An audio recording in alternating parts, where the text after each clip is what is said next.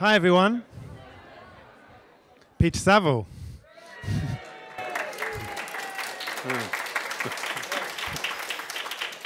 okay, should we, should we leave it there? Yeah, good idea.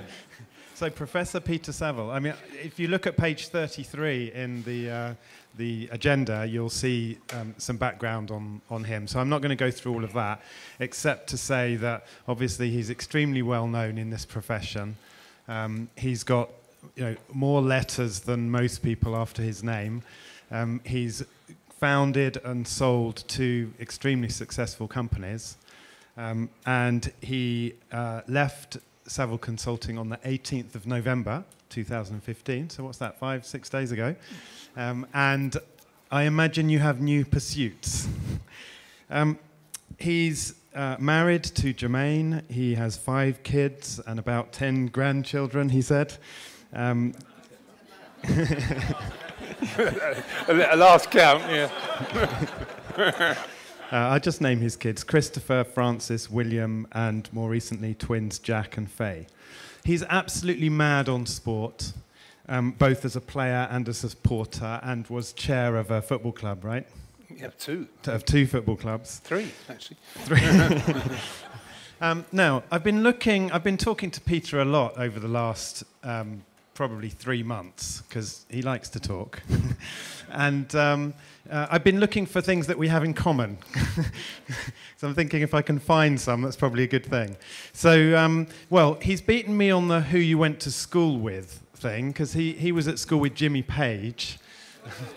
And, and I only go as far as David Walliams, so it's uh, not too bad, but not quite in the same league. Um, and um, we both grow, grew up, or no, I live in Chiswick now, and he grew up in and around Shepherd's Bush, which is very close. So that's about as far as I got with the connections, but there are at least some. So um, he also uh, has written a chapter um, with a colleague. Tom Hopton. With Tom in, uh, in the book. So, you know, why we're doing this, there's a number of reasons, but, you know, when we were talking about doing some sort of keynote, um, you know, Peter said, well, let's make it around what the subject of the book is, which is leadership, entrepreneurship, and chairing a PLC. So it's ended up merging and moving from that. And it's a little bit about the story of Peter's life, but through the lens of obviously psychometrics, leadership, and uh, entrepreneurship. So, your role, guys, in this is to seek out those, those little messages and insights that you know, make you think and kind of strike you. Okay, that's all I'd ask you to do, because I think it's going to be full of them if it's anything like the conversations that we've had on the phone in preparation for this. So, I'm now going to shut up. Um, two days ago, I said, and then say something. two days ago, Peter, um, Peter called me and was saying, you know, I'm not sure if I'm going to be able to do this because he's had a viral infection. Um, so thank you very much for being here. And I will start by saying, how are you? Um, well, I've, um, I'm much better, but I've got a croaky voice. And um, I'm blaming it on the new puppy my six-year-old twins wanted um, here because when we got her, she actually had a bad virus. And um, my wife called the doctor out on um, Saturday morning, and she actually said I could have caught you know, the virus from the poor little puppy. Um, but she's a lot better now. It's a, an old English sheepdog that we've actually got around the house. And how are you feeling right now? Um, I'm feeling okay, but my voice is not Is as good as it should be. Yeah. But um, let's, uh, let's, let's push on. Okay. And um, what's your background, Peter? Um, right, well, the next slide tries to uh, put this. Uh, Richard Field here did all this for me, a, a sort of a montage of things. On my mother's side were, were Welsh. They came from the Gower, um, which is west of Swansea, in a place called Rhossili. Um, my grandmother's um, cousin was Edgar Evans, who went with Scott to Antarctica and died there. Um, uh, and also my great-grandfather actually was a ship's captain, which, sold, uh, which sailed the Broughton from Swansea to uh, Australia and back and died of malaria off of Chile. So he was a ship's captain. The, the, the family name was Bynum, apparently. Um, that's actually a Norman area. Very, and they say Swansea is supposed to stand for Swain's Eye, where he was a Viking king. So um, my background um, was on, on my mother's side was all Welsh. My father was born in Chiswick, actually. He went to Chiswick Grammar School. Um, it doesn't exist now. No, I thought there was a very, well, it probably doesn't now, but in fact, um, he got entrance and then his father couldn't, they couldn't afford for the school uniform and wouldn't let him go, so he copied his father's uh, uh, signature and went back and said, look, I've got to go because um, they've made me enter it. So they found the money somehow yeah, yeah. in one of those roads down to the Thames, yeah, which are probably worth a fortune now. Yes, like four million or so, I think. Um, there's a picture in the middle of Edgar Evans. He was, in fact, the strongest and um, biggest of the party. He was chosen to actually um, go to the final journey to the pole. Um, he was Scott's favourite in many ways. He was a, um, well, he's actually drunk when he got on board the ship and fell in the water. Actually, he nearly didn't go. Um, he died uh, on the way back, the first one to die, because he was the biggest man. There are various theories about that. One theory was that he just needed more calories. And um, of course, Scott relied more on, um, less on dogs than Amundsen did. Um, and they had to eat their horses and so on. And um, lacking vitamin C um, and also the pure calories, uh, being such a big and strong man, that's one theory um, in the history which suggests why he died so young, uh, well, died so early. Um, there's a lot of controversy about um, Scott as a leader. One criticism was that um, uh, Amundsen actually lived with the Eskimos. In other words, he learnt more about the terrain, he knew more about the importance of, of huskies, Um, he knew about more about survival than Scott did. And some say Scott was slightly arrogant you know, in the way he went forward with that expedition. Others actually um, finds, defends him, and actually says, well, he may have been a somewhat arrogant leadership style, uh, but if you've done that journey as, as, as Fines has done it, you'll understand why he made some of those decisions like many great leaders, really, it's very difficult to make up your mind one way or the other about their style. But there's a feeling that he perhaps lacked some expertise, you know, in that area, which the opposition did have and, and actually gained. Um, so I use the term in leadership about living with the, es living with the Eskimos. And um, I think it was um, Aristotle has said that the great ship's captain is observing all the men on the board, all the women, and is observing the tides and the winds and everything else, and uh, is watching what they're doing because they always do silly things. And he was actually emphasizing the importance of knowledge you know, as a leader, which we often overlook. And we're getting more and more a technical society. And if you're trying to manage a graphic design department now and you've got no experience in an area, in my view, is that's difficult really, to, to make judgments about really what's going on. Um, at the bottom, I was born in Wembley, or Alperton, south of Wembley, and Rich Field here got on Google Earth and showed 21 Woodside Avenue, where I was actually born, the two up, two down, which is at the, um, the bottom, which is very near the gyratory system at Hanger Lane. And I used to go fishing at the Grand Union Canal there uh, as a boy, and I, I think my grandfather nearly kicked me in a few times, a, especially when I was setting on fire when I was about four years old. And when I put an electric fire behind him and, and the actual, uh, actual um, seat caught light. And, uh, so I'm, see, I'm seeing more connections now. I go to a Chinese restaurant in Alperton. So, oh, uh, really? Yeah, right. Well, just round the corner from there um, is Woodside Avenue, and um, yeah, so that, that's where I, I grew up. So, how would you compare? And you can see this is slightly scripted, but after a lot of you know, um, you know, growing this together, if you can move on to the next slide, how does Scott's um, leadership style compare with this guy, um, well, Field Marshal Bill Slim? Yeah, he became um, chief of the general staff actually, because his abilities just could not be denied. Many people say that he was the greatest commander of the Second World War um, because um, he, he actually, they say you could smell the soldiers' feet from his own boots. And he was a, actually a teacher uh, who went to Sandhurst, moved right through the ranks to Field Marshal, and um, actually was extremely cunning in the way he, actually trained his troops. He would um, train them well, make sure they were well fed. They, they absolutely adored him. Um, and, and he learnt his experience and how to actually fight in the jungle so well.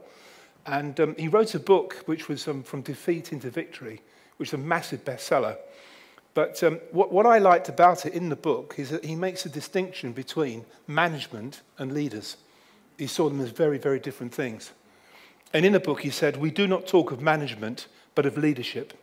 There is a difference between leaders and management. Leaders represent one of the oldest, most natural, and most effective of all human relationships. Managers are a later, later project, product with neither so romantic nor so inspiring a history. Leadership is of the spirit, compounded of personality and vision. Its practice is an art. Management is of the mind, more a matter of accurate calculations of stats, methods, timetables, and routine. Its practice is a science. Managers are necessary, leaders are essential. A good system will produce efficient managers, but we must find managers who are not only skilled, but inspired and inspiring leaders, which he saw as the next stage up. He did make reference, of course, that you need engineers as well.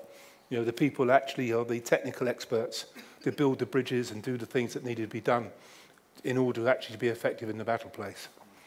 Uh, and presumably, you're able to describe that psychometrically? Yep, that's a good, a good lead in. we, ha we haven't talked about this at all. Um, if, what, what, we did is that um, we, we, took a, a, whole series of personality self-report variables and rated 360. Right? So we actually looked at the factor structure. And um, when we took out the three biggest factors, um, it was intriguing to find that three, number three is what we called um, professional. And that was about documenting facts, interpreting data, meeting time scales. They represent factor loadings. So they help us define the factor um, checking things, following procedures, managing tasks, which is very much but where one starts in occupation. You learn your trade. I learnt my trade at the National Foundation for Educational Research for seven, eight years, um, where we had a monopoly in all the psychometric tests available at the time. I mean, from the 16PF to the Vexler scales, I worked in educational research, only 10, as well as clinical, and only 10% of our turnover was occupational. 90% was actually in the educational and, and clinical space. Uh, but the occupational field became more and more interesting to me. Then you've got the people side, which is more about management, which is about establishing rapport, resolving conflict, understanding people, 0.79, massive loading, team working, valuing individuals. So that's more management in Bill Slim's terms. Then you've come to pioneering. And this is the most powerful management style of all we found by looking at the performance of people who had this particular profile. Although it can be said that some people have got all three. They've got technical knowledge, they can manage people, and they've got vision as well. Um, they're the sort of three P's leader. They're scarce. They're scarce, but very, very powerful. And here you'll find that they're more about strategy, um, they're more about um, generating ideas, they're creative, they're prepared to make big decisions about directing people and also very high on drive, taking action, seizing opportunities and pursuing goals. So a great deal of energy uh, in those sort of people. But as I said, you can be all three, uh, but they're, they're rare individuals. Um, at the end of this, we've got a few, few slides that show Peter's um, personality profile. Um, and so you might want to be thinking as we're going through this what the scales are likely to look like, and then perhaps you can um, use your massive uh, amount of skills and experience to uh, interpret what you see. Um, when uh, we've been talking, Peter, uh, we wanted this to be themed around leadership and entrepreneurship and so on, but there was another big theme that was coming out, which was around health. And uh, there's a, a, strong link, certainly in the book, to health and well-being, and it's a big thing on the agenda at the moment. So we're going to spend some time on that. But um, it's sort of related to that and other things. Do you want to tell people a little bit about your earlier childhood? Yeah, I was born, uh, at about three months, they, dis they discovered I actually had a bent spine. And so I spent the first three years of my life um, strapped in a leather uh, a cast, a plaster at night with metal straps and being swung by my neck and being stretched to actually get the, the spine straight. It's called scoliosis. Now, congenital scoliosis is more common in boys than girls. They're not sure what causes it. Um, while later on, scoliosis at 13 is much more common in girls than boys. Um, now, in fact, they leave the children alone because it normally self-corrects. Um, but apparently my mother, um, I'm not asking for sympathy, but when they were treating me, would hear me scream or go to the end of the garden in Wembley and put her hands over her, her, her ears because as they pulled me and, and tried to stretch me, they now know that doesn't work. But it was a treatment of the late 1940s when, they, when you had this rather rare condition. When I asked my father about it when he was about 80 years of age, he, said, he began to cry And he said, Well, we just try to make a game of it, Pete. Of course, there were also days when the parents weren't, weren't allowed to, to see you in hospital. It wasn't until Bowlby came along and actually said of the damage that actually can do to a child. They took you away for two weeks, put you in a cot, and you were just left there. Um, Bowlby actually showed that this can cause maternal deprivation you know, and actually um, cause a lot of stress to the, to the child. And social isolation, interestingly enough, actually has been shown to be as powerfully um, a, a problem as physical um, you know, abuse. Even, even, in fact, even more so in some studies. So that was a big thing in my family, a team of 30 people putting me through that procedure each day. One clinical psychologist friend said that that shaped your character. That is, you're, you're bloody minded. You know, you're, you're either going to take that and get on with it, um, or, or, you know, you're going to fall over. I, I don't know, but that, that was their subjective view. Well, let's have a look at how that did shape your character by looking at your early school reports. Yeah, um, Richard, we, we dug this out. This is at Newnham School in Eastcote. And you can see that I'm, uh, I mean, D's the bottom 10% of the population. It was norm-based. Um, so I'm sort of D minus, uh, D plus, C, etc., uh, etc. Et well, I just couldn't spell. I found spelling absolutely impossible. You know, I'd find 30 different ways to actually spell a, a word like pneumonia or something like that. Why doesn't it begin with an N? I couldn't see why it began with a P, you know, whatsoever. And it's still a problem I have to this day. There is evidence that any early child uh, experiences like that do actually affect the short-term memory and spelling ability. It's quite a, but not conceptual memory, which is rather a different sort of memory. Um, what, anyway? Yeah, well, one of the things it does say on one of the reports is shows strong evidence of creativity. What, what are your thoughts on that? Yeah, that, I, when I came, my father had kept this. I hadn't obviously kept it um, because I was very young then. Um, it says, you know, uh, ideas prolific. Yet I was in the bottom 5 10% of the population in academic achievement. It also said I talked too much, which I, I think is entirely wrong.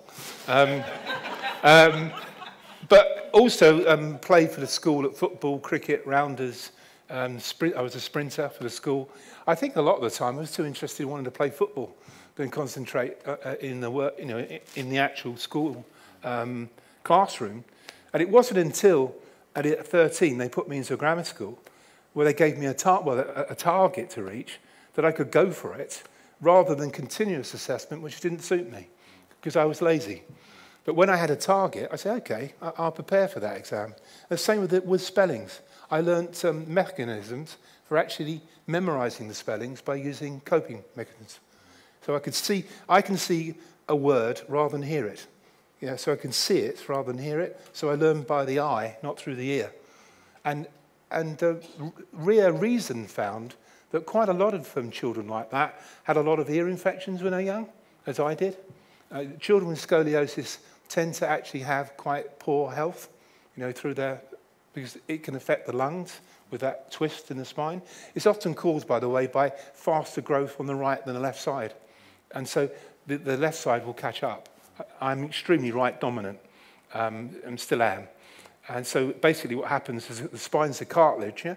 it will bend if your muscles are stronger. So as you grow, grow older, it will straighten. So that's why they leave them alone now, largely. So that, that's the peculiarity that um, uh, I did terribly at school um, and um, in my early days at junior school, um, but, but gradually began to you know, sort of get up with my peers. So let's just shift things a little bit. One of the things that I asked Peter was, you know, on what would you play on Desert Island Discs? So we're going to just play a couple of bits of music, maybe the first seven, eight bars of each, and then we'll talk about why he chose these. This is my first vinyl record.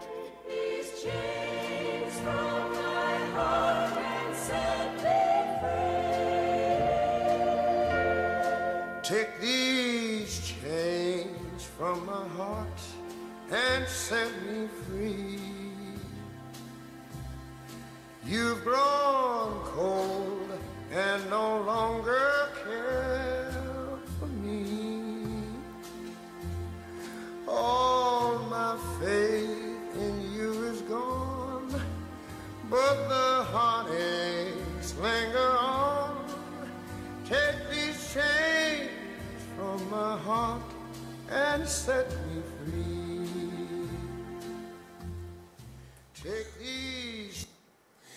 That was the first record I ever bought. That was one of the records on the LP by Ray Charles. My friends um, made fun of me because I adored it so much. I want to want to cry when I hear that. Um, that. I think Sinatra called Ray Charles the only true genius in the business. And the influence he had on music is absolutely incredible. And so I bought that when I was about 11 years old. Uh, as soon as I heard it, I just wanted to get that, get the money together to actually buy it. So always been absolutely the complete fan of Ray Charles. And, and then you were telling me about the impact it had on your father. Well, my father loved music as well, and he would only listen to orchestral or opera. And one day he picked up this record and he played it and he came out crying. And he said, Pete, I said, why are you crying, Dad? He said, Pete, I never knew pop music could be like that. that, that good. He said he's got a timbre in his voice, which they, they say in opera, a quality in his voice, which is absolutely astounding. And, you know, he became a Ray Charles fan and he'd never listened to a pop song before. And they, these were times when the BBC wouldn't let us listen to pop music. We, we used to listen to Radio Luxembourg at 11 o'clock on a Sunday night under the sheets when mum and dad didn't know to listen to, to what we want to listen to, which for me was mainly soul, soul music. So the, he, he had a tremendous influence upon me and I think other singers. And, you also made the point about, you know, in his 80s, he, uh, he started Yeah. to see the value of this. Uh, yeah, uh, in his 80s, it, he he started to listen to another performer, uh, which really surprised me. Rich?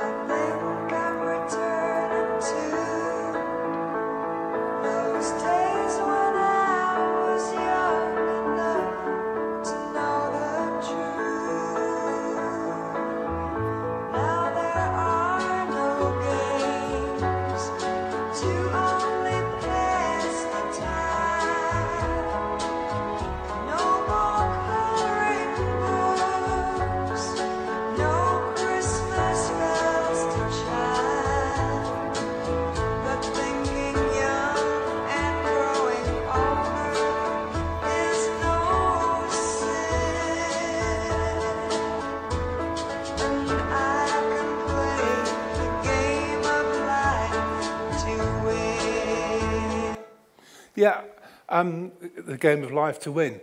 You'll probably uh, understand I like sad songs.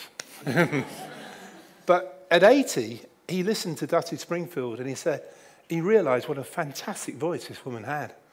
And I saw a program on the BBC about six months ago, they had Elton John and um, really great, great singers just saying she had an amazing voice.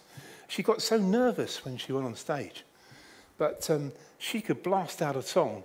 And I was having a meal. I met up with an old university friend. He's a professor of economics at Durham now. And uh, he always liked, um, we had Cream playing um, Eric Clapton at University of Leicester with my first degree.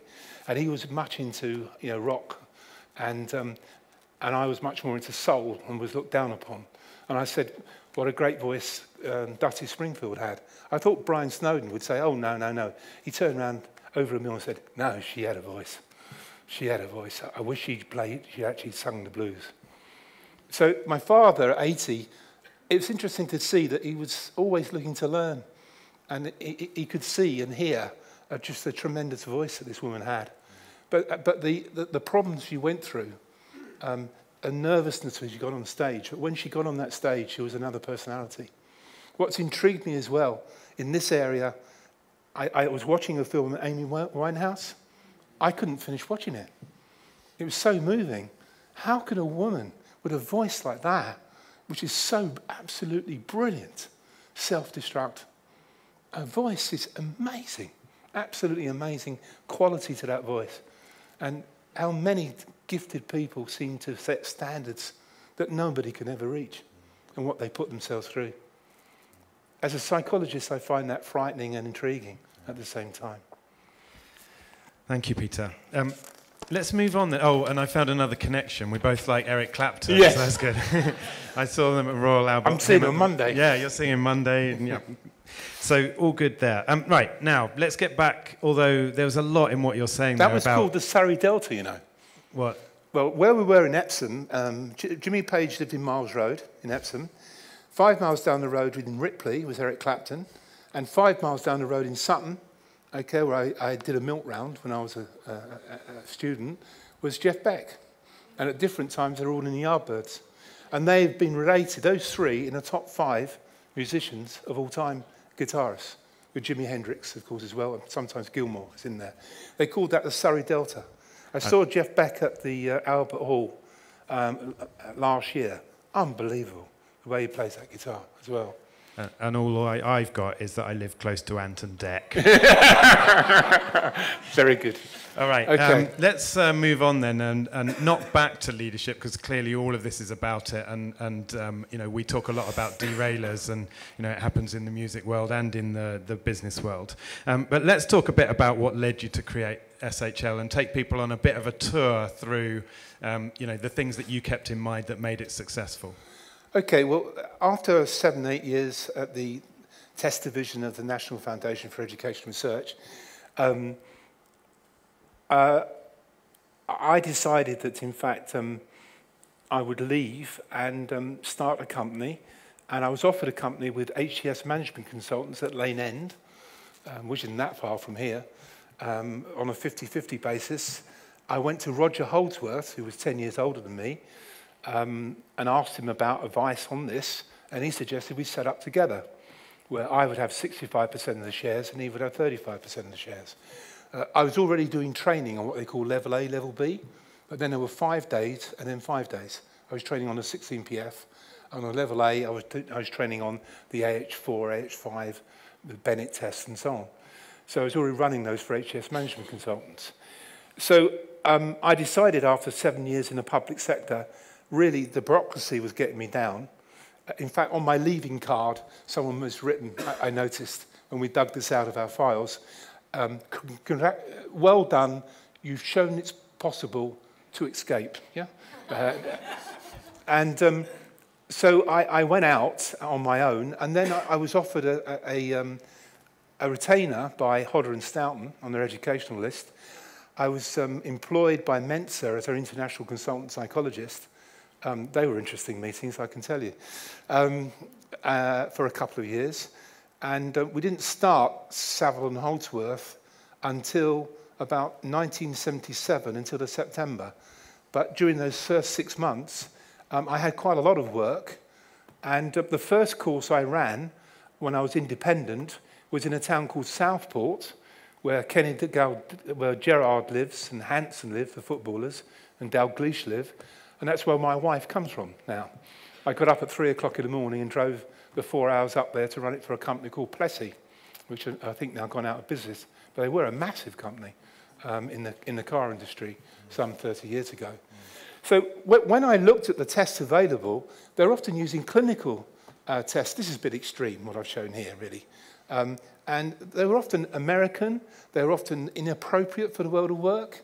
And I, I thought that surely we can do better And companies like BP and Mars Confectionery came to me and said, look, if you start up, um, we'll back you. We'll buy from you. I- I'd already trained the people on courses, so I knew them personally. You had a pint with them in the evening. So they trialed for us. And um, people were using things like the TAT, the thematic apperception test. If you can say it, you pass. You know, so basically that was based on the work of Murray. I admire Murray's work. Uh, don't get me wrong, I really do. He was a great psychologist. Uh, he invented the early assessment centres. He came over here to help with the early assessment centres. And in, this is one here, which my prof at university always showed. And apparently one answer he got to this, the man standing here with a woman in a bed, is that it's a man waiting for a number 93 bus, which must say something about the individual, but I'm not too sure what. And the other one is that in the, British Leyland at the time, they were using the Wechsler scales. And it involved giving senior managers jigsaws. Yeah, putting jigsaws together. So you took that and you had to put it into a jigsaw. What, what, what, what is that? Yeah, exactly. And I remember one manager saying, excuse me, but this is the way he put it. I've worked for this company for 25 years, but I never guessed my career would rest on whether I could put the tail on the arse of an elephant. so I was starting to get it, you know, that in, perhaps this isn't very appropriate for the world of work. Also, the, the Wechsler scales had wrong questions in it. I know Steve here would know, but one of the questions is, at what temperature does water boil? Well, it's not one answer to that. On the top of Mount Everest, it's about 70 degrees centigrade. I mean, do they mean bar one? You know, you know it's, it's an absolute errors in, in there. And also, it was full of questions about what is the theme of Genesis? What is the, um, what are the five disputed books of the, of the Testament, the Apocrypha? So it's extremely biased as an IQ test. So it's no, no wonder that you find people who weren't of a Christian or other background, you know, would actually you know, perform less well on them. In- Incredibly biased. So the idea was let's try and take job samples and put them in the psychometric framework and not go for this sort of clinical stuff. Okay. And uh, yeah, you've got a couple of slides that show some pre-SHL questions. Um, Well, the first question is things like, would I rather be a colonel than a bishop? And that's supposed to measure t- tough versus tender-mindedness. And I was told that this was a question um, by one well-known psychologist at the time which couldn't be faked. So I I asked 100 managers, what would you put if you were lying? And 98 said colonel, not, not bishop, you know, if they're applying for a management job. Um, in fact, there's no way of writing questionnaire items in personality which can't be faked. You know, um, the best way is actually to interview the person on the questionnaire and look for validation of the information. In fact, I put up a test standards committee submission in about 1976 where people were given feedback okay, on their pro profiles, and it was refused by the test standards committee initially. But I was on the committee, so I argued for it. I was then 25. I said, if you're going to write character assassinations about people, they should have the right to know what you've written. If you can't justify it, yeah, then you shouldn't be writing it. So I challenged the then chair. So he said, well, there's a trial. You're allowed to actually do it and video it, and we'll see how it goes. And Helen Barron said I should write to the BPS because I've never been let off that trial. I think they now stand a part of the course that you actually have feedback sessions under the Data Protection Act. Because people would extrapolate ridiculous things about people and write things down which they have never had a right to challenge. You know, to me, that was wrong. Um, I'd, rather be, I'd rather be more likely to admire the beauty of a poem than a well-made gun. That measures tough versus tender-mindedness. More than 50% of Americans kiss on their first date. That measured mating urge. It's about, a bit out of date nowadays, I think. I have a fear of being buried alive. These, these actually did, did exist. There's very little love or companionship in my family. Um, I believe in the second coming of Christ. There's something wrong with my sex organs. what? we learnt about that at Sex and Superbrands last night. I mean, that's, that they're in the MMPI, and that was being used in America for selection. They got sued heavily for this. Uh, you know, millions and millions of dollars of class action against companies. What psychologists were putting this sort of stuff up? Didn't they have any common sense? I mean, would you ask this sort of thing in an interview? Anyway, so- we were dealing really with a great opportunity um, which we could grab if we could actually produce the things in a much more job relevant and acceptable way, almost taking job samples but using psychometric rigor. So, and there's a few other slides we've got here that demonstrate that, that we, I suggest Well, we go through yeah. reasonably pacily so that we get into I- I will- some I of the will do, opposition. And Um, very quickly, um, my PhD was on Cattell factor structure um, in 1977. It was Dr. Rainer Kurz that noticed that when I factor analysed it, there was a big five. He said, Peter, he came to me about four years ago, five years ago, he said, he saw my PhD, he read it, he said, look, you've got the big five there using Promax. And I hadn't realised it you know, at the time. That was in 75. But one method of validation, which Cattell, who did great work, but some of the instruments he produced weren't that tremendously good. The, the items, I, I think he got students to write.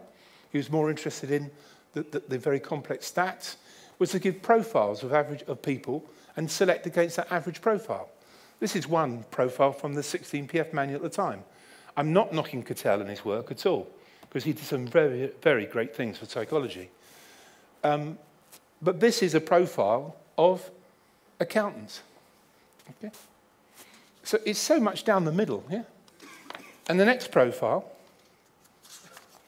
any guesses what this is? Now, some of you might know. Eh, Oh, you turned, you told them. well, I got this from Wandsworth Prison. This is, in fact, the profile of convicted armed bandits, 360 of them. They're very, much, they're very similar to the accountants.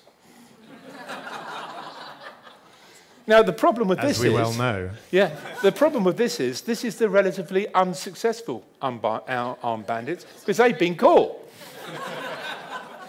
well, I'd like to see is the guys who haven't been caught. They may be a lot brighter yeah, than these. Yeah? So to take the average of the people you've got does not improve selection. What you've got to do is look at the high performers versus the low performers. But you'll still find organisations coming in and saying, oh, we'll profile your managers and we'll select to that template. Well, all you're doing is replicating the sins of the past. You've got to have some criterion of job success. I know that's difficult. There's no such thing as objectivity in any criterion, but you can try you know, in, in, in given areas. Even sales performance is not completely objective. It's influenced by many factors location, your boss, and other factors, and so on, and opportunity, and luck. Okay, moving on. Yeah, so uh, yeah, we've got that one. Just check what next Right. Yes, a little bit about uh, where you started. Right, having moved from the NFER, um, we had to get an office. So on the top left-hand side is where Saville and Holdsworth started. And that, that arrow is the place where the ability test of SHL was started. And downstairs, there's a little garage there with a car in front. That's where we supplied our test from. Uh, yeah, from our garage, from my garage. In 21 Common Road, Claygate, Esher, Surrey. Now, Rich, not at the same time, you lived down there.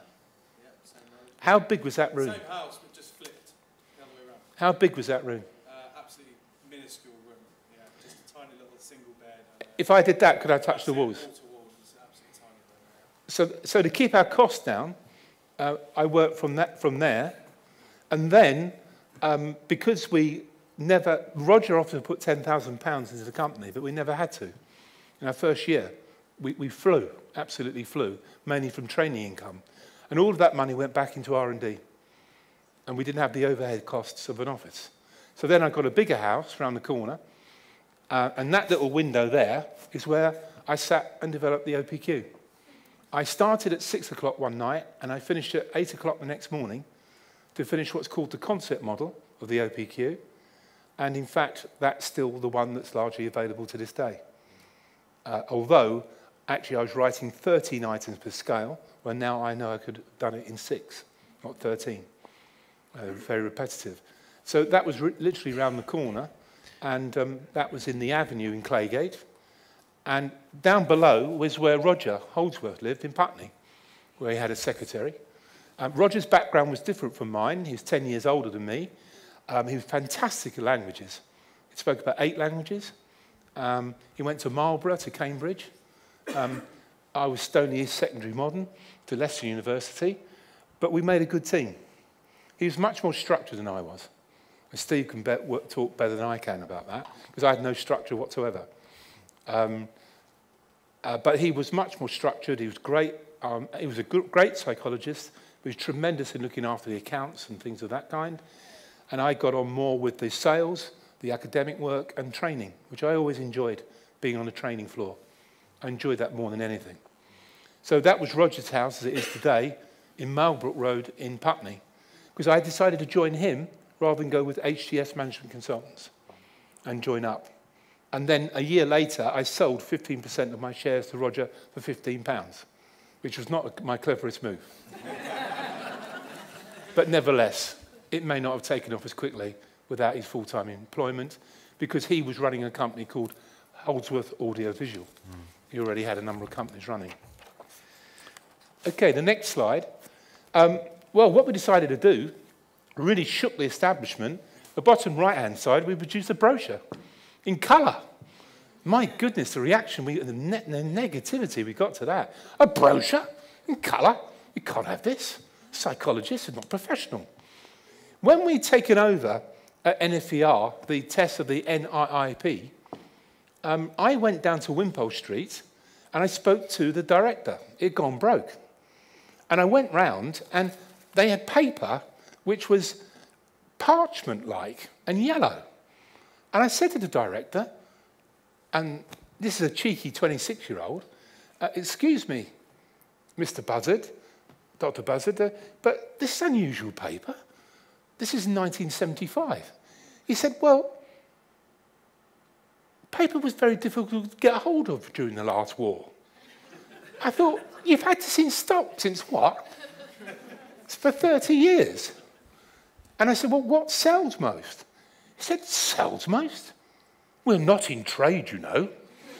They didn't know what they were actually selling. Also, they were making losses. There was actually a law that said you couldn't increase prices, so they didn't. But they didn't realize you could if you're making a loss. So to save the pension fund, they closed the NIP. And they were the first people in Britain to do market research. They, they, if you remember Black Magic Chocolates, it's the NIP that did 7,000 people for Rowntrees on that. And they decided to do more, more, no more of that work. It was too capitalist, and it was lost to psychology, to market research agencies. They did some great work, but it just declined, you know, to more commercial organisations.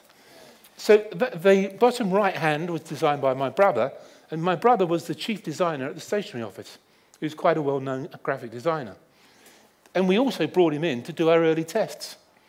And we actually printed in colour. You know, because we felt, I felt strongly, that when you present test materials to people, if they're dirty, if they're foreign, they're badly spelt, um, if they look old-fashioned, it's bad branding to the applicant. It makes, they're spending millions, well, almost millions on their graduate recruitment program. You then present this tatty stuff. It's a bad image to project to the candidate. So why not do it well? Bring in professional graphic designer to make it look good. But rest it on good science. Make sure that you've got good manuals. There's good reliability, validity, and normative data as well. So combine the two. M- Make it commercial, but make sure you have good science back behind it. So that's what we did, and that really rocked the boat. And that was actually a surprise even to the Americans. When I presented at SIOP and I had coloured slides, they went, What? You've got coloured slides? I've always believed that actually academics take you more seriously if, they, if your slides are scrawled and you, you can't read them. If they're well presented, they're suspicious, you know, immediately. Yeah? Um, so we, we combine good graphic design, presentation, and good courses, and consultancy, and I think, I think scientific principles with good presentation. And they just sold like hotcakes. So, Peter, I, um, I think we're in, I, there's a main theme that comes out from the next slides, which I think you've said, and so I'd like to skip a little bit, which is about how you took, you looked at the market, you looked at what was basically not good about it, and what needed to be improved, and what you offered in terms of products and services was better than that. And there's also one, the, the, the technology slide, the, the piece of technical equipment. I found a machine, it was developed in Finland, it was part of a big jump jet deal, believe it or not, and this is a document reader. Uh, you fed in an answer sheet and it could actually read, it's called a Valmatic, we used to call it Evilmatic machine. We then got it connected to a, um, then a, an early computer, a desktop computer, so we could feed answer sheets in, it could read the actual um, uh, uh, multiple choice options. We wrote programs of item analysis, so we could turn out the item analysis reliability using Kuder Richardson and then alpha coefficients so quickly. We used to let this run overnight in my upstairs bedroom. And so by the end, the next morning, we had all of the data, the item analysis, we could choose the items, and we could prepare them and get them ready for print. So, So, so, we use early technology to actually push forward development. So within two years, we had a whole range of some 20 different tests. So whilst. I was playing Hungry Horace on the ZX81, you were, you were punching data in through machines. Um, there's, um, can we go to the slide with the swimming pool? Um, can you describe your leadership style? chaotic. Okay. We, in 1987, I was getting fed up with running courses in hotels with bad food, bad accommodation, people moaning about that. And when I was trying to run a good course, we had so many courses running, sometimes as many as 20, with 16 people on them. We couldn't cope in the local environment or area for the hotels. We were filling them up. So I acquired a training centre and spent a year redeveloping it as a, with architects and builders. And I added a, a swimming pool to it because I learned from Trusthouse Forte that, in fact, when people choose a hotel, 80% put swimming pool as number one for each choice, but only 8% use it. Intriguing. So I thought that what we'll do is have excellent food, excellent training rooms, uh, a little golf course around it, a good gym, tennis courts where my, we could play five-a-side football for my football team as well. Um, but the main thing about it was the choice of the staff. They were fantastic staff. And they, I put them all through level A course, the waiters and waitresses. So when they did correlation on a Wednesday, they would say, oh, you're doing correlation today, are you? Um, uh, so you're going into the pro- product moment. I mean, the delegates weren't going, what? Uh, you've done the course. And and I wrote that course at the 75th percentile. It kept people moving. And so we won a number of awards for that particular course. They've been cut down now quite considerably because I always taught how to calculate a correlation coefficient because by that you could then understand reliability and validity so easily. It only takes 20 minutes using a Z-score formula to actually show that. Um, but, um, but basically, we acquired our own management centre, and I used to be like to get in the training room, and we always try to put people who were well experienced in the training room. Um, we didn't put new grads to run the courses because they didn't have the war stories. If you got the war stories, you so much improved the courses. And that meant people referred us on and on and on and on and on. So most of our expansion came from referral. People saying, we really enjoyed that course. Now I want an in- in-house course for all of my people. It's not true that I'm strangling Roger there, as some people said at the time. Uh, but actually, Roger. Um, and um, down in the bottom here, we've got Kevin Young, and that's an international event with lobster. We didn't do that every day. Um, but our chefs won international prizes. And also, we pre-ordered material in the morning, so we had very little wastage. So actual overheads for food was not high. So we, what we did in every way, coffee was going 24-7. Not when they wanted it, the hotel, but when I wanted it. So we did everything we could to understand the delicate perspective.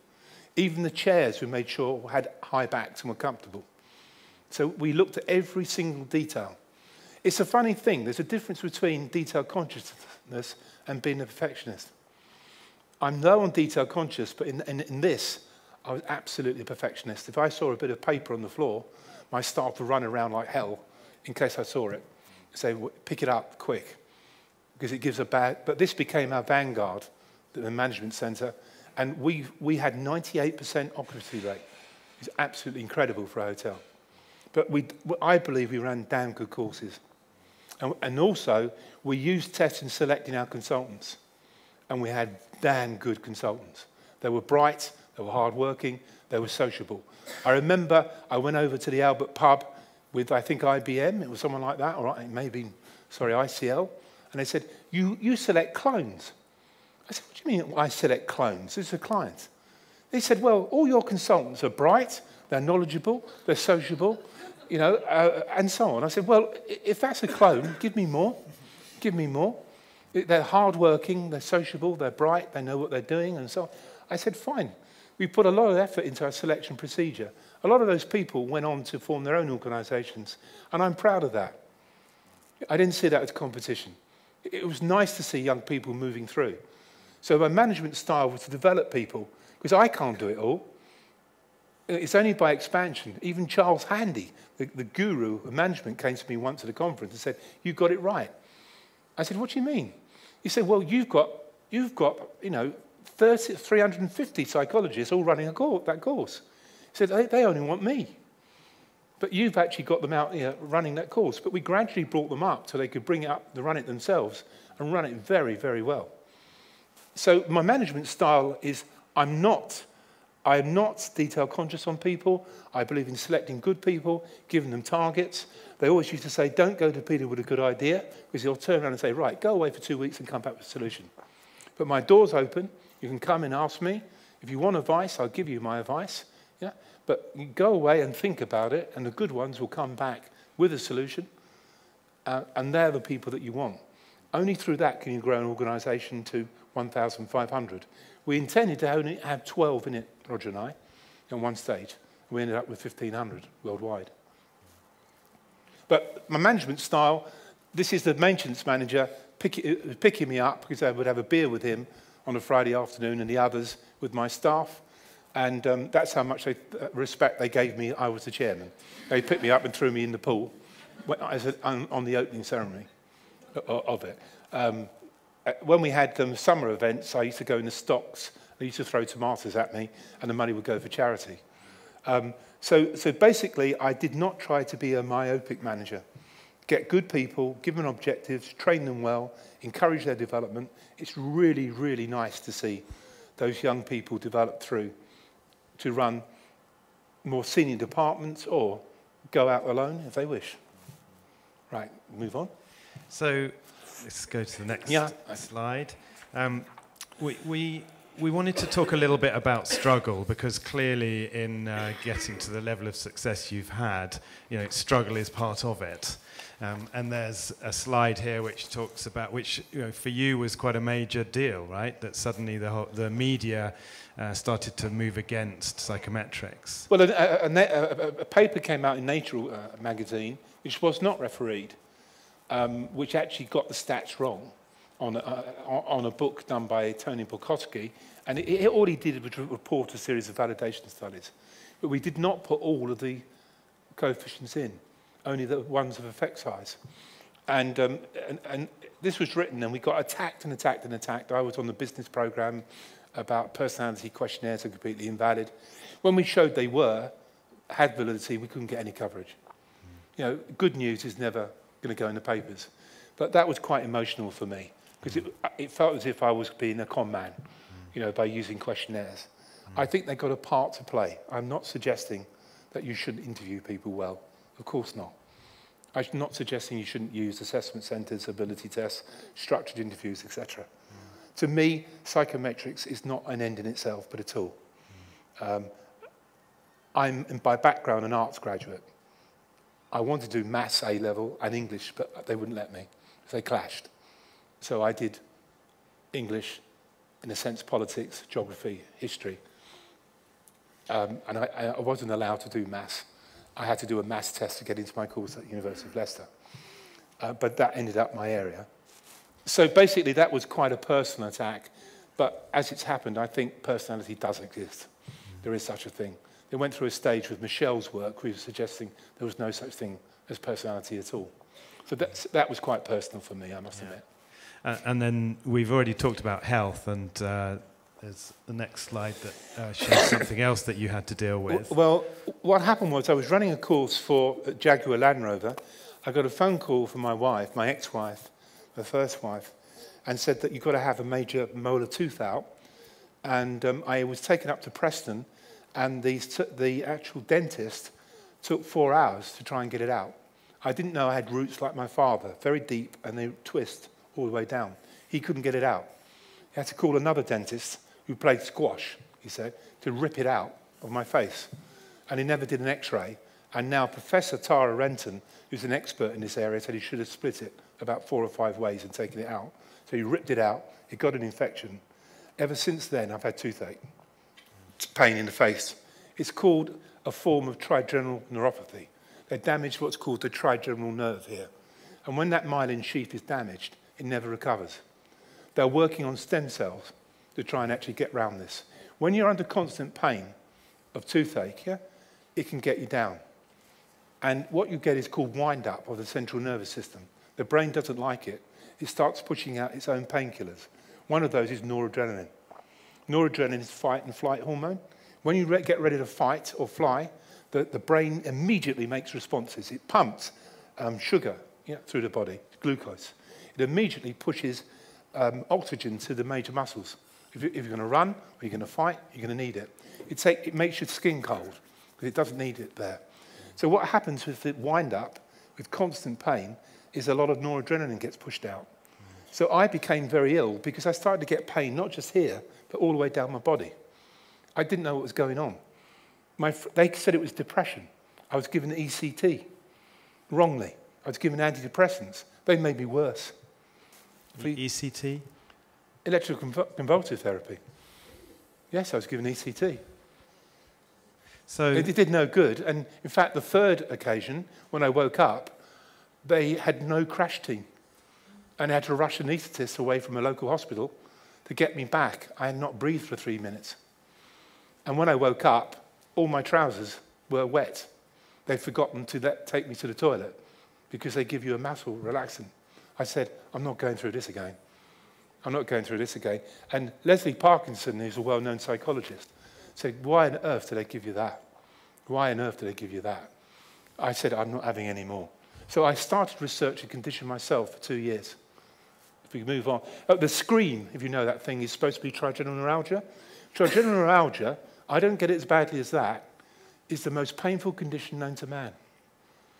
When you get it, you get an electric shock right through your body. You just collapse to the floor with the pain because the trigeminal nerve goes into the pons, straight into the middle, and the whole brain lights up in pain. Those people are in a terrible state. It's worse than childbirth, women that have children say. It's terrible. I don't get it that badly. I just get generalized body pain and pain in the face. So, up in the, when I was lucky enough to get a Lifetime Achievement Award in 2002, 2000 by the BPS, that's me in the top right hand corner. I'd gone to 24 stone. I then spent two years, three years, researching the condition myself at the Royal Society of Medicine, who made me an associate member. And I wrote, I took look, 350 references, and although I can't cure it, I realized that anti-seizure drugs could actually work in this condition, which I take to this day. And that is me three years later. I'd lost about 10 stone in three years. So there's the proof for the pudding. And I got my vitality back. I could think again. In that condition, in, when I was 24 stone, I couldn't think straight. And that's why I gave up the chair of SHL. And then they wanted to get rid of Roger Holdsworth at SHL, wanted me to vote against him at a board meeting, and I said, no, I'm not, I'm not voting against my co-founder. We were not socially close. Roger and I were very different characters.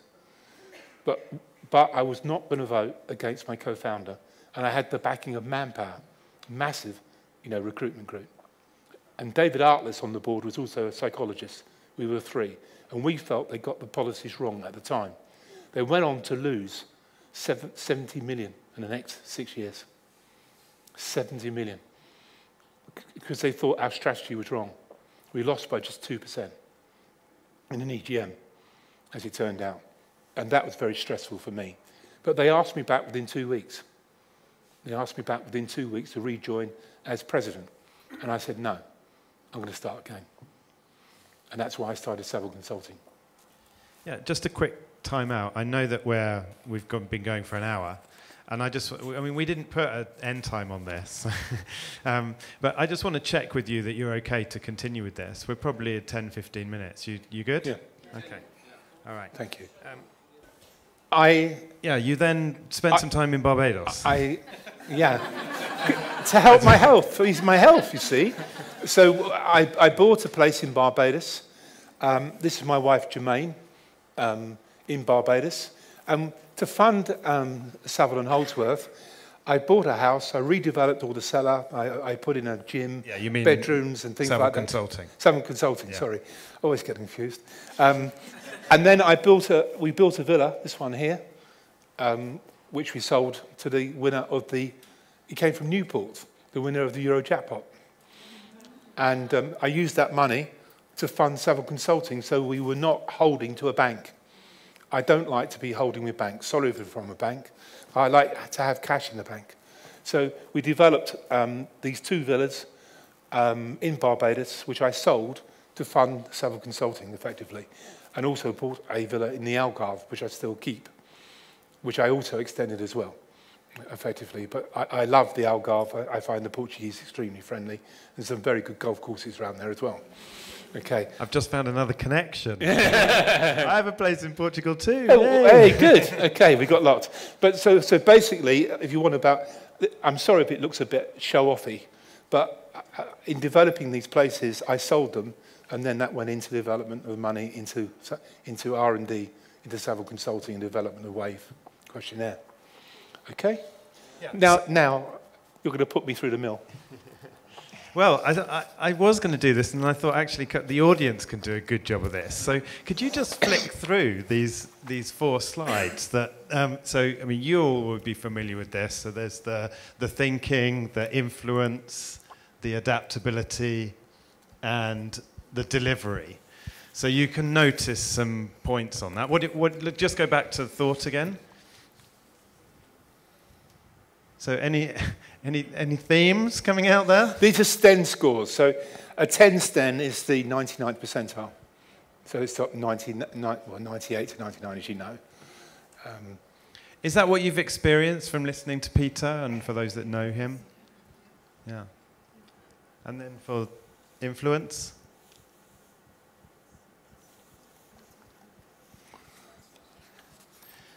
I mean, this, this what this for I've you, what for you- for you in the last three weeks. Okay. Not, it's not an old one. It's not contrived. I've, I've tried to do it honestly. It's both ipsative and normative. So it's ranking and rating. Salgado and Anderson have recently found that combination gives best validity. You combine the two. And that's what we did with Wave. It gives better validity than normative on its own. So the, the rank order they found of validities was um, quasi-ipsative, normative and ipsative, then ipsative, then normative. And Salgado is a great psychologist. He's got no test publishing rights. But he said, we're going to have to turn over all that we've said in the last 50 years. That rank ordered scales can actually give you good validity. There was one question that uh, actually Lucy asked me um, related to this, which is just to consider if you put up the, the drive one, the delivery one, and uh, it's a The 10 on drive. So is success about drive or about delivery and or both and you know where does it really come from Well, it's about all of it, isn't it, really? I mean, it's no good having a Ferrari if you don't turn it on. Okay, if you don't turn the ignition on. So, I mean, I think we found out now, us oxykes, that um, if you want to be successful in most jobs, then being quite clever or smart, I don't know what I am, but if you're smart and you work hard, you tend to succeed in most occupations. It's taken us 100 years to find that out and we made real progress, you know. Uh, But I think things like creativity and innovation are coming forward more and more uh, in the modern workplace. Um, driven, yeah, I suppose I am. That's brought back a dark uh, side in my life because um, I would often work 18, 19 hours a day without stop. Um, and that has been, I think, for my family, quite hard to take on occasions. I mean, as I said with the OPQ, I started one night and I think I got it, and I went right the way through the night. And, I, I, and then- I had it after four years of research. You sort of uh, assimilated it, and it, it then came about how it could be assembled. Um, and that was quite common for me even to this day. I will sometimes get up at three and not finish at 11 o'clock at night. It's all very well about me time. Um, I admire that, but in big corporations where you're on a global contract, my phone's got to be on, on 24-7. It's got to be there 24-7 because I could have a major contract coming in from Hong Kong or from China, well, China or from Australia. Unless I'm onto it like a rocket, um, and I would be, on, like a rocket before my opposition, I won't leave it a couple of days. I, I, I- I'll be there in that office literally in hours. So I was always very quick to spring to the opportunity. And um, a- another question, seeing as we're in the kind of psychometric bit, which was um, from Ben here on uh, LinkedIn. I asked if anyone had any questions. I know you like this question. Um, he asked if you were to introduce a new psychometric to exploit a gap in the market right now, what construct would you seek to measure? I'm thinking about that one. but I'm not going to give it away, am I? Next one. Okay. Look, we can we can say a little bit, if you like, about your strong connection between uh, you know s- to sport and uh, the work you've done on connecting high performance in sport to what we can learn in business. And then I have two questions to finish. So if you'd like to say Yeah, I, little bit about that. uh, sport's been my life. I mean, my, my PAs and secretaries always knew on Tuesday and Thursday I was football training. No, no conferences on Tuesdays nights because I was out there football training. And if in fact I wasn't good enough to get in the team, I would develop a new team myself. And that was the answer, you know, to start a new team. So I, I would make sure I always get into it. When I was, so I played till I was 50. I played squash till I was 50 and tennis that I, at that age as well. I, I, I play tennis still, but um, I've ruined my knees. I played against Wimbledon when they were amateurs and guy jumped in from eight foot into my right leg when I, I was playing men's football when I was 15. I was six foot one then. And um, Uh, that was um, when Wimbledon were the crazy gang later on, and they would maim you, basically, the way they played. And it, uh, uh, yeah, this 30-year-old went into both, into my knee with both his feet, so I've had to have it replaced. And unfortunately, it's come loose, so they've got to take it out and put another one in. So I'm looking forward to that operation. But nevertheless, that was my life very much. And, it, and in sport, you ask for a funny story.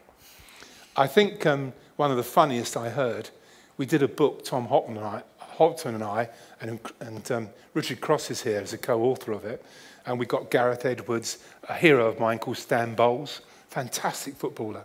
But the trouble was he was drinking and he was actually womanizing and he was, he was basically um, uh, gambling all the time. Um, someone said, Stan, if you could pass the Ladbrokes bookmakers as well as you pass the football, you'd be a millionaire.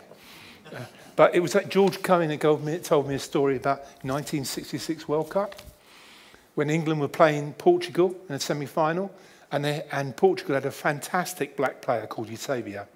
He was so quick. I think he got the most goals in the, in the World Cup, and they had to stop him.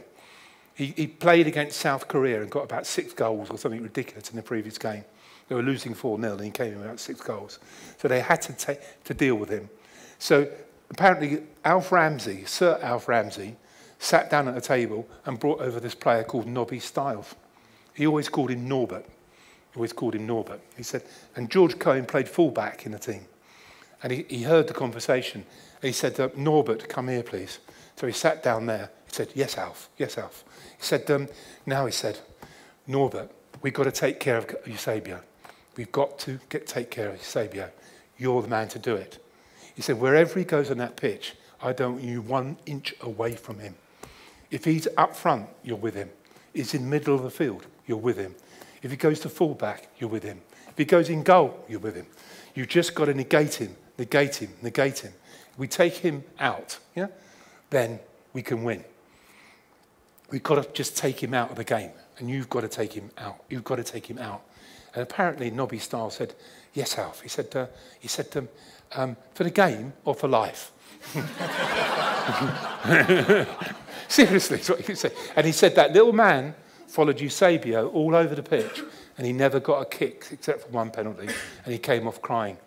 He wasn't as quick as him, but through his intelligence, yeah, he followed him everywhere and negated him, and they won and went forward to win, of course, against West Germany. About the only times we've ever beaten the Germans, I might add. Okay, Peter, last that's question. George Cohen there.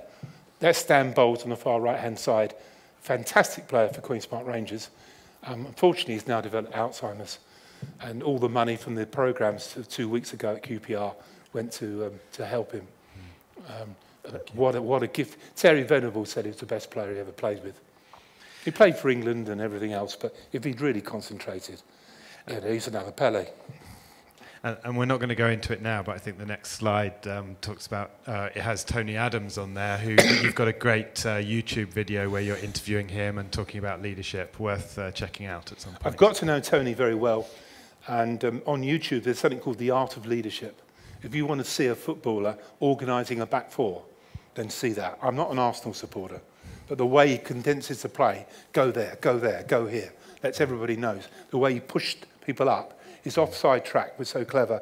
If you ever saw the film The Full Monty, they say, how do we line up? They say, like Tony Adams. And that back four, I think one season only let about 12 goals in all season. And he says it wasn't the best players he'd ever played with, but But they practiced and practiced and practiced and practiced and practiced as a unit, and he pushed it up. And he's six foot four and a half. And um, I saw a program with Ferguson on leadership talking. He said, That's the man I wanted. he was a, a Man United player in an Arsenal shirt, but he refused to leave Arsenal. He captained England and he consoled Beckham when he was sent off against Argentina. He consoled him uh, when he was crying in the changing room afterwards for being sent off. And he had a heart attack about six weeks ago.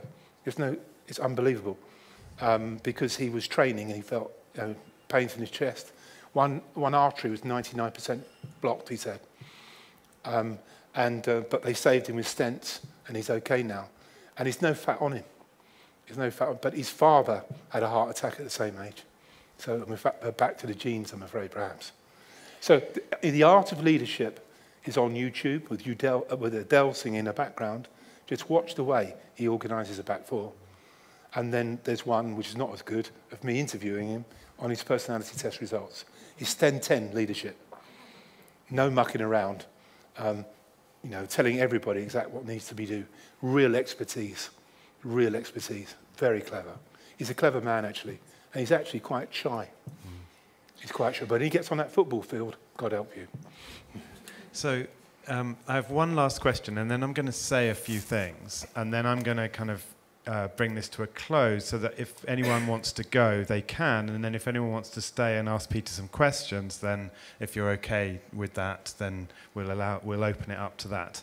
Um, so, last question for you: What are you most proud of? I think I'm most proud. I saw a review. It was either McKinsey's or Bain & Co., which looked at about um, 20 HR activities about what had most impact on the bottom line of an organisation.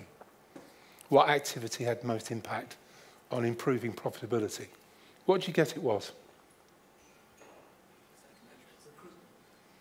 Yeah, getting the right person in the right job.